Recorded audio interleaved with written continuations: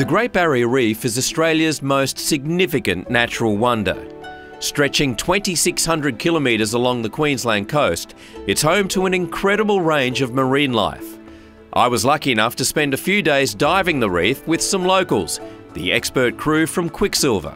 The view down here is incredible, the reef bursting with activity. More than 1,500 types of fish inhabit the reef, and we managed to spot quite a few of them. I swam with sharks, bumped into an inquisitive potato cod, and I found Nemo and his friends, including Dory.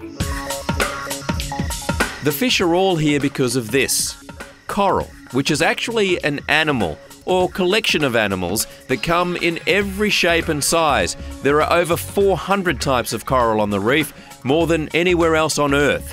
And it's these coral creations that are the backbone of the Great Barrier Reef. We're 33 kilometres east of Port Douglas on Agincourt Reef. Although it looks pristine from up here, it is under more and more threat every year from human factors and from environmental factors. And that's why this year's coral spawning is as important as any in its multi-million year history. Coral spawning is the way the reef rejuvenates itself. Without it, it would die. Coral spawning is a, a vital part of the coral's overall biology. Russell Hoare is a marine biologist who's been studying the reef for more than 20 years. A good spawning season each year is just providing new recruits to keep the system going. The spawn happens only once a year, a few nights after the November full moon. All these corals are bursting, ready to spew out clouds of tiny egg and sperm bundles. Think of it as sex in the surf. It's uh, a phenomenon that not many people get to see. We're only probably talking about a couple of thousand people around the world have actually ever seen it. Predicting the spawn is an inexact science.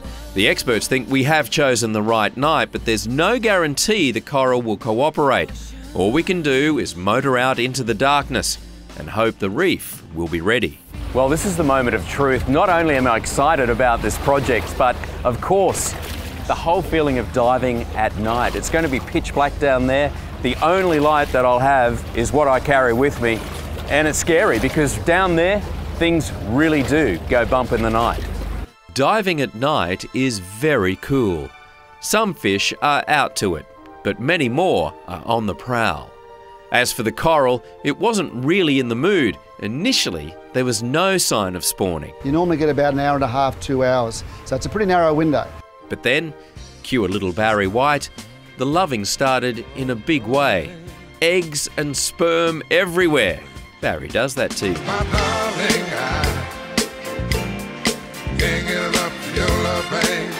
It's like an underwater snowstorm.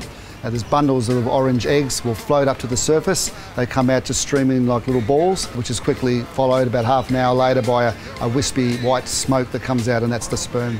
It's this middle of the night mating game that will keep the reef thriving, adding another layer of coral to the world's largest and most spectacular reef.